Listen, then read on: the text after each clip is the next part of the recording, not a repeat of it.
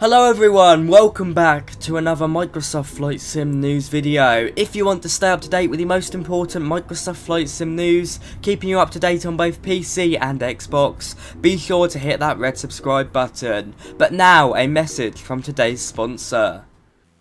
Microsoft Flight Sim can be daunting, but FS Academy has you covered with their in-depth mission packs for Microsoft Flight Sim.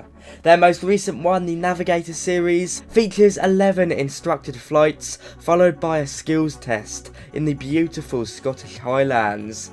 Gain valuable flight simulation skills and have a complete blast. If you want to improve your flying skills, you can get 30% off all FS Academy packs via the in-game marketplace between the 5th and 12th of August right now. Check out the website below, have fun aviators.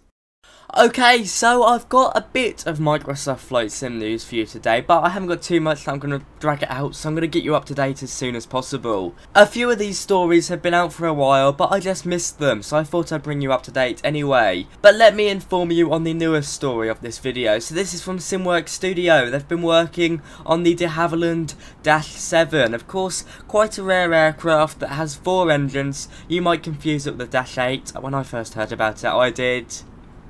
But yes, Simworks Studios have been working on this very, very versatile aircraft alongside Pilots, which is a German development team. Now as you can see, still relatively early days for this aircraft just from looking at the modelling, but what we get is pretty impressive. It looks quite good in the Air Greenland delivery. Now Simworks Studio is now fully focused on this project. They don't confirm whether or not they've diverted all their resources here, but progress is coming along nicely. Compared to last time we saw an update from the team. As you can see, lighting's looking pretty good, but in my opinion, the fuselage does look a bit matte, a bit sort of cartoonish, so I hope they do work on this. But saying that, all in all detailing, when you get up close to the likes of the propellers and the gears, does look quite good. We don't necessarily get a full-blown cockpit shot, we do get a sort of cheeky look inside. You can see we have got some texturing going on and I don't know how much they have done, but from what I see it looks acceptable, but certainly still some work to go. This is a very versatile aircraft, as I said, and when it does come, which I do believe it's coming to both PC and Xbox, Simworks Studio have released stuff on Xbox before, so hopefully it will come over. I know their RV14 recently went over to Xbox Marketplace, but I don't know if it's there yet. But you will find this aircraft is very very good at short takeoff and landing performance. All in all, it's a very nice update and some really pretty screenshots.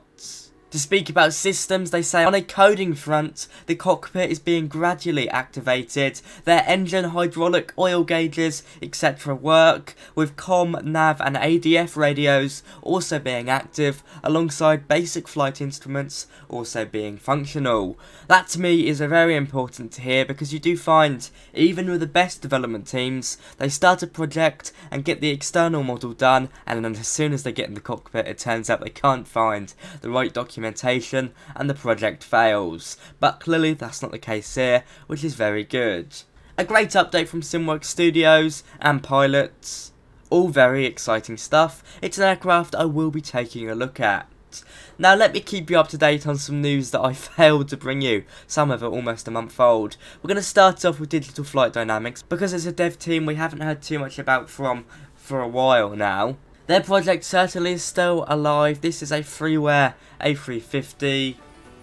They gave us a few teasers to celebrate reaching 10,000 members on their Discord. I don't know whether it sort of scares me a bit because this project has been going around for a while and to me it seems like they've been a bit stuck.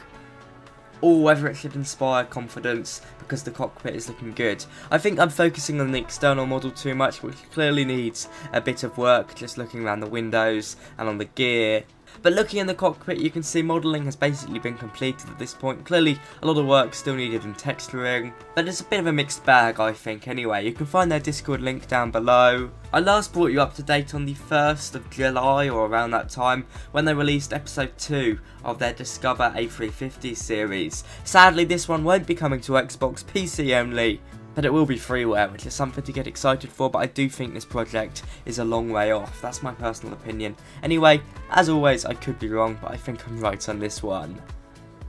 Now moving over to a project I haven't talked about for a long time, the Synaptic A220 team. Now this dev team I have a lot of faith in because they're working with the FlyByWire team, so I think the experience speaks a lot there. And when I say working, they're integrated in the FlyByWire installer. Hopefully that will last. Anyway, they brought us a pretty cool update on the A220. I'm showing you an old photo, uh, an old screenshot I should say, from the Synaptic team on the screen now. This isn't the most recent one but it shows it off in its best glory, I think. Now this is an update from late July, so a bit out of date here, but we haven't had any updates since, and it's showing us some systems in play.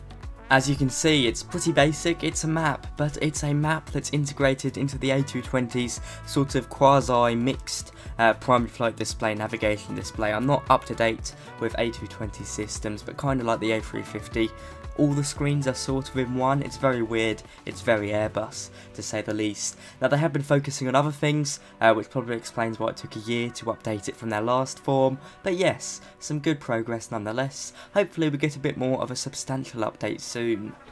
Now finally, from IndiaFoxtEcho, they're in the process of moving their F-35 over to Xbox. Depending on when you're watching this video, it might already be on there. There was a bit of a delay, that delay is still occurring right now I do believe and that was because of an issue with the build they sent over to Xbox Marketplace. This is now being resolved so on the 2nd of August they said it would take 5 to 10 working days for Microsoft to test it so that means at the very latest hopefully you'll see the F-35 on August 12th. It might even be on there now but as always Microsoft Flight Sim can be pretty unpredictable but hey it's nice to see such an awesome fighter jet, move over to Xbox. I'm sure it'd be a good fun aircraft to fly with a controller. For me today that is all, I've kept you up to date so thank you very much for coming along. Developers do read the comments down below a lot so give them some motivational boosts. For me today that is all, thank you so much for watching, be sure to like, comment and subscribe and check out my Amazon affiliate links for all the stuff I use to fly, film and edit. Thanks again to FS Academy for sponsoring my video, do go check out their 30% sale on the marketplace now. I'll see you around. Bye bye.